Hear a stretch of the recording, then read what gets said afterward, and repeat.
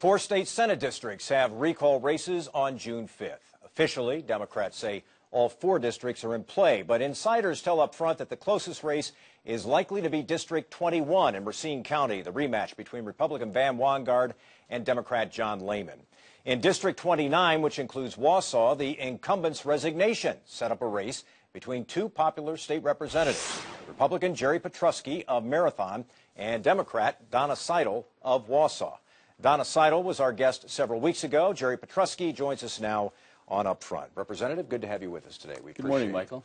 Well, I, uh, I, talked to Donna Seidel uh, a few weeks ago, and I said, isn't this a little strange because you were not the target of the recall? But she told me, no, because they really, Pam Galloway and you are basically the same on the issues. You both vote lockstep with the governor. What's your response to that? Well, as everybody knows, this has really been a, uh, a real surprise when Pam Galloway decided to resign. And uh, actually, the press, I think, found out about it before I did.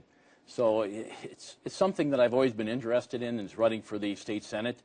And the timing never seemed to be right. Well, I think it is right now. And uh, we started this campaign about four weeks ago, and it has just been uh, a lot of work. I've crossed the district back and forth.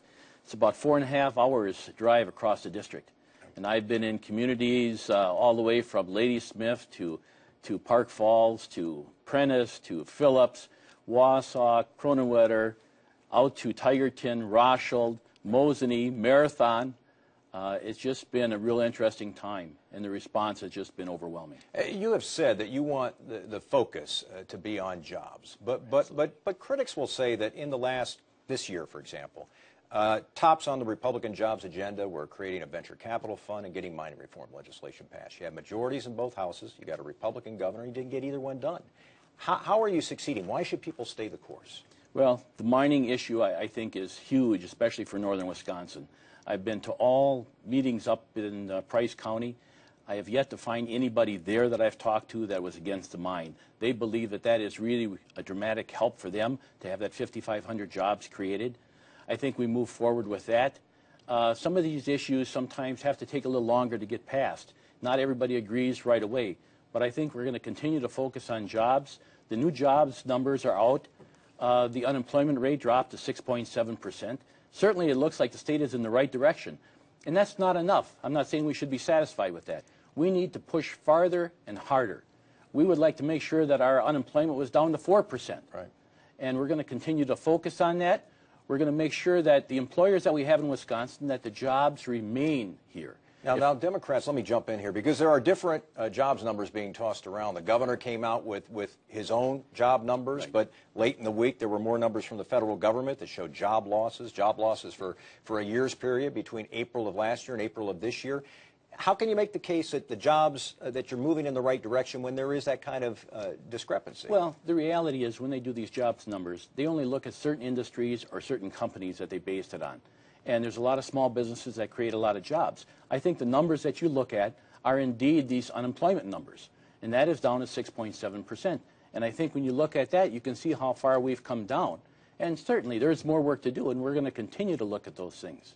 I want to have you respond to an ad that's running in your district right now. It's okay. a tough ad by your opponent who, who makes the claim in it. She said women are seeing basic health care needs jeopardized by Jerry Petrowski.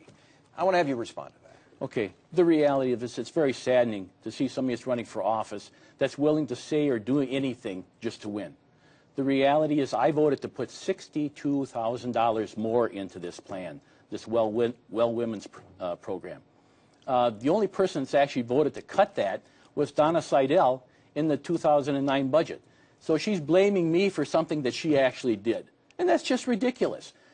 You know, I've campaigned and run a number of races. I've never said anything negative towards anybody. This is just the kind of politics that I think gives people in office a bad name. Briefly, are you confident heading into this election? I am.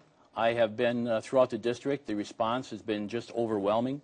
Uh, at the doors, even doing doors in areas that have not been mine, the response has just been unbelievable. Representative Jerry Petrowski, the Republican candidate in the recall election up in the Wausau area. We appreciate your time today. Thanks very much for being with us. Thank you, Mike. Next, in a state where everyone seems to have their minds made up, is there one group that's still persuadable in the upcoming recall? Upfront is produced with editorial assistance from WisPolitics.com, an online government and political news service.